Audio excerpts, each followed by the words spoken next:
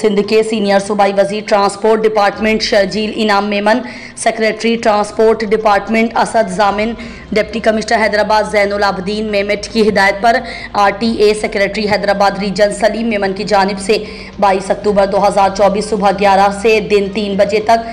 M nine tool plaza पर मुसलसल चार घंटे क्रैकडाउन जारी रहा। ये कार्रवाई RTA secretary Hyderabad region Saleem Memon, admin inspector motorway police Noor Hassan Khashak sub inspector Khalid Dharaj, sub inspector Kulsoom Kanwal ने M nine Hyderabad Jamshoro toll plaza पर ओस्ता मोहम्मद सूबा बलूचिस्तान, लाड़काना दादो सहवन, खैरपुर नवाबशाह हाला मिटियारी हैदराबाद से आने वाली अड़तालीस मुसाफिर कोचिस, वैन्स और माल बरदार गाड़ियों को रोककर चेक किया। चेकिंग के दौरान रोड परमिट और गैर मयारी सिलेंडर की वजह से इक्यासी हज़ार रुपया जुर्माना लगाया गया और मुसाफिरों से ज़्यादा वसूल किया गया किराया सत्ताईस हज़ार मुसाफिरों को वापस करवाया गया। इस मौके पर आरटीए सेक्रेटरी सलीम मेमन ने मौके पर मौजूद मीडिया से बात करते हुए कहा कि किसी भी सूरत ट्रांसपोर्ट की गैर कानूनी नकल व हरकत को बर्दाश्त नहीं किया जाएगा। आरटीए सेक्रेटरी हैदराबाद सलीम मेमन का मजीद कहना था कि महँगाई से पिसी हुई आवाम को रिलीफ देने के लिए हुकूमत ने पेट्रोलियम मसनूआत की कीमत कम की है।